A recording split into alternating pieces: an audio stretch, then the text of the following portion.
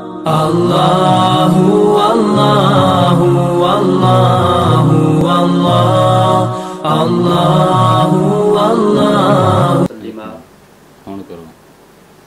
حامدا و مسلیا و مسلما اما بعد فاعوذ باللہ من الشیطان الرجیم بسم اللہ الرحمن الرحیم معزز سامعین و ناظرین السلام علیکم ورحمۃ اللہ آج ہم اس مختصر سی ویڈیو کے اندر صدقہ فطر کے بارے میں گفتگو کرنے جا رہے ہیں۔ دعا فرمائیں، اللہ رب العزت ہمیں سچ بولنے کی توفیق عطا فرمائے۔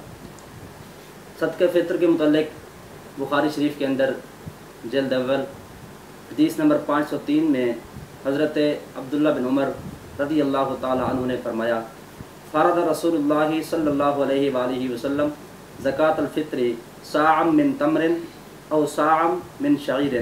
رسول پاک صلی اللہ علیہ وآلہ وسلم نے زکوٰۃ الفطر یعنی صدقہ فطر مقرر فرمایا، ایک سا کھجور یا ایک سا جو مسلمان لوگوں پر وہ آزاد ہوں یا غلام، وہ مذکر ہوں یا مونس وہ چھوٹا ہو یا بڑا، سب پر صدقہ فطر ادا کرنا واجب ہے۔ وہ عامر بہا انت ادا قبل خروج الناس الصلاۃ اور رسول پاک صلی اللہ علیہ وآلہ وسلم نے عید نماز کی طرف جانے سے پہلے پہلے صدقہ فطر ادا کرنے کا حکم دیا۔ اور یاد رکھیں، سا غلے ماپنے کا ایک پیمانہ ہے۔ غلے کو ماپنے کا ایک پیمانہ ہے جو تقریباً چار کلو گرام کے برابر اس کا وزن ہے۔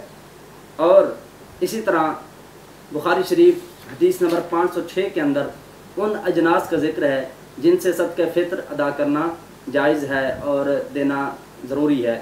وہ پانچ اجناس ہیں۔ جو آپ کے سامنے ذکر کرنے لگا ہوں۔ نمبر ایک، گندم۔ نمبر دو جو نمبر تین، کھجور۔ نمبر چار، پنیر۔ نمبر پانچ، کشمش۔ یہ پانچ اجناس حدیث پاک میں آئی ہیں کہ جن سے صدقہ فطر دینا لازم ہے۔ یا تو خود یہ جنس دی جائے یا اس جنس کی قیمت ادا کر دی جائے۔ اور سنن ابی داود حدیث نمبر سولہ سو بائیس کے اندر یہ آیا ہے کہ اگر آپ گندم کا صدقہ فطر ادا کرنا چاہتے ہیں، تو وہ نصف سا ہے یعنی دو کلو گرام یا اس کی قیمت، اور باقی جو چار اجناس ہیں، وہ پوری ایک سا مطلب چار کلو گرام ادا کرنا ضروری ہوگا۔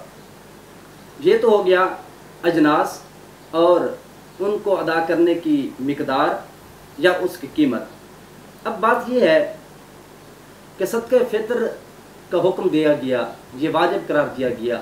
آخر اس میں حکمت کیا ہے؟ کس حکمت کے پیش نظر صدقہ فطر ہم پر واجب کیا گیا؟ حضرت عبداللہ بن عباس رضی اللہ تعالی عنہما سے حدیث پاک ہے۔ سنن ابی داود حدیث نمبر سولہ سو نو کے اندر فرماتے ہیں کہ رسول پاک صلی اللہ علیہ وآلہ وسلم نے صدقہ فطر کو لازم قرار دیا۔ وجہ کیا بیان فرمائی؟ حدیث کے الفاظ ہیں۔ تو رتن لسیامی من اللغوی والرفس کہ روزے کی حالت میں انسان سے جو لغویات ہو جاتی ہیں، جو فضول باتیں ہو جاتی ہیں، جو بےحودہ باتیں ہو جاتی ہیں، جب ہم صدقہ فطر ادا کریں گے، اللہ تعالیٰ اس کے صدقے ہمارے ان روزوں کو پاک فرما دے گا۔ اور دوسری چیز تعمتن للمساکین، کہ مساکین کو کھانا کھلانے کے لیے صدقہ فطر واجب کیا گیا۔ مساکین کے ساتھ ایک تعاون ہے غربا کے ساتھ تعاون ہے، جس طرح دوسری حدیث پاک میں آتا ہے، میرے آقا صلی اللہ علیہ وآلہ وسلم نے ارشاد فرمایا ممشا فی حاجت یقیہ کان خیر اللہ من اعتکافی عشر سنین کہ جو بندہ اپنے مسلمان بھائی کی ضرورت کے لیے چلا، اپنے مسلمان بھائی کی حاجت کو پورا کرنے کے لیے چلا، تو وہ اس کے لیے دس سال اعتکاف کرنے سے بہتر ہے۔ الترغیب و ترغیب جلد تین کے اندر میرے آقا کا یہ فرمان موجود ہے۔ ایک بات یاد رکھیں کہ حدیث کے اندر جہاں بھی صدقہ فطر ادا کرنے کا لفظ آیا ہے تو حدیث میں وہاں فردا کا لفظ استعمال ہوا ہے۔ اس سے ثابت ہوا ہے کہ صدقہ فطر واجب کے درجے میں ہے۔ اس کا ادا کرنا واجب ہے۔ اس کے چند مسائل آپ کے سامنے رکھتا ہوں۔ علامہ امجد علی اعظمی رحمۃ اللہ تعالی علیہ بہار شریعت کے اندر لکھتے ہیں کہ صدقہ فطر یہ شخص پر واجب ہے، مال پر واجب نہیں ہے۔ جس طرح کہ زکوٰۃ کا معاملہ ہے، زکوٰۃ مال پر ہوتی ہے۔ لیکن صدقہ فطر یہ مال پر نہیں ہے، بلکہ شخص پر واجب ہے۔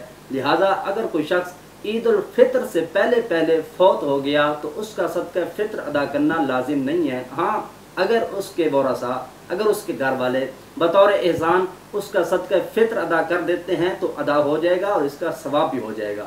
اور اس کے ساتھ ساتھ، اگر مرنے والا یہ وصیت کرتا ہے کہ میرے مرنے کے بعد میری طرف سے صدقہ فطر دیا جائے، تو اس کی وصیت پر عمل کرتے ہوئے اس کے مال کے ایک تہائی سے صدقہ فطر کا دینا بھی ضروری ہے۔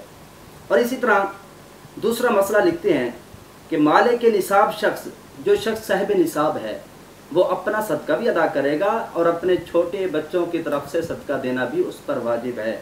چھوٹی اولاد جو اس کے زیر کفالت ہے، جو اس کے زیر تربیت ہے، وہ اس کے بیٹے ہوں، بیٹیاں ہوں، یا اس کے بھانجے ہوں، جو اس کی کفالت میں ہیں، یا نواسے ہوں، جو بھی ہوں، ان کا صدقہ فطر ادا کرنا اس پر واجب ہوگا۔ اور تیسرا مسئلہ، صدقہ فطر کے واجب ہونے کے لیے روزہ شرط نہیں ہے۔ روزہ فرض ہے، روزہ رکھنے کا ثواب اور نہ رکھنے کا گناہ، وہ ایک الگ بات ہے، لیکن صدقہ فطر کے ساتھ روزے کا تعلق نہیں ہے، لہذا صدقہ فطر ہر اس مسلمان صاحب نصاب پر واجب ہے جو شخص عید الفطر کے دن موجود ہوگا۔ اور چوتھا مسئلہ یہ بتاتے ہیں کہ اگر کسی کا باپ فوت ہو گیا اور چھوٹے بچے اپنے دادا کی کفالت میں ہیں، تو دادا اپنے چھوٹے پوتے، پوتیوں کا صدقہ فطر بھی دادا کے ذمے دینا لازم ہوگا۔ جس طرح کے حضرت نافع رضی اللہ تعالی عنہ فرماتے ہیں کہ حضرت عبداللہ بن عمر اپنے چھوٹے بچوں کا صدقہ فطر دینے کے ساتھ ساتھ میرے بچوں کا صدقہ فطر بھی دے دیتے تھے۔ حالانکہ حضرت نافع، حضرت عبداللہ بن عمر کے آزاد کرتا غلام تھے۔ ان کے ساتھ کوئی قریبی رشتہ داری نہیں تھی، لیکن پھر بھی وہ اپنے آزاد کرتا غلام کا بھی صدقہ فطر دیتے اور ان کے چھوٹے بچوں کا بھی صدقہ فطر ادا کر دیتے۔ اور آخری شرط، آخری مسئلہ جو سب سے اہم مسئلہ ہے کہ صدقہ فطر صاحب نصاب شخص پر واجب ہے، لیکن یاد رکھیں صدقہ فطر کے لیے نہ تو سال کا گزرنا شرط ہے اور نہ ہی مال کا نامی ہونا مطلب بڑھنے والا ہونا، نامی ہونا اس کے لیے شرط بالکل نہیں ہے۔ لہٰذا اگر کسی شخص پاس سونا، چاندی اور پیسے نصاب نہیں بنتا، لیکن بعض دوسری اشیاء، قیمتی، مثلا کسی کے پاس ٹریکٹر ہے کار ہے یا اسی طرح کے اور اس کے پاس قیمتی سامان ہے، اس کو ٹوٹل ملایا جائے تو نصاب بن جاتا ہے، تو اس پر صدقہ فطر ادا کرنا ضروری ہے۔ اور آخری بات یہ ہے کہ صدقہ فطر کتنا دیا جائے؟ یاد رکھیں، روزہ نہ رکھنے کا فدیہ اور صدقہ فطر کی مقدار برابر ہے۔ سورہ بقرہ آیت نمبر 184 کے اندر اللہ رب العزت نے فرمایا، وَعَلَى الَّذِينَ يُطِيقُونَهُ فِدْيَةٌ طَعَامُ مِسْكِينَ۔ وہ لوگ جو روزہ رکھنے کی طاقت نہیں رکھتے، ان پر فدیہ ہے ایک مسکین کو کھانا کھلانا۔ تو یہ تو ہے ایک کم از کم مقدار۔ لہٰذا جو اپنی خوش دلی سے اس سے زیادہ دے، تو اللہ تبارک و تعالیٰ اس کو زیادہ اجر و ثواب دے گا۔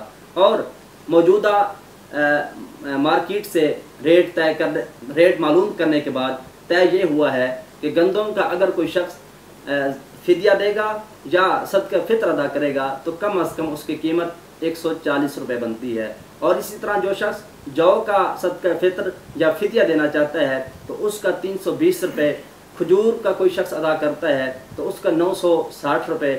اور اسی طرح اگر کوئی کشمش کا ادا کرتا ہے، تو اس کا نو سو بیس روپے بنتا ہے۔ اور اگر کسی شخص نے پورے مہینے کا فدیہ ادا کرنا ہے تو وہ ان رقوم کو تیس کے ساتھ ضرب دے گا تو اس کا وہ فدیہ بن جائے گا۔ اور اگر کوئی شخص قسم کا کفارہ دینا چاہتا ہے، اس نے قسم اٹھائی، پھر قسم کو پورا نہ کر سکا، قسم توڑ دی، تو اس کا کفارہ دینے کے لیے یہ جو رقوم میں نے آپ کے سامنے بیان کی ہیں اس کو جب آپ دس کے ساتھ ضرب دیں گے تو روزے کے کفارے کی قیمت سامنے آ جائے گی۔ تو وہ ادا کرنا ضروری ہوگا۔ اللہ رب العزت ہمیں یہ مسائل سمجھنے اور یاد کرنے کی توفیق عطا فرمائے آمین۔ و آپ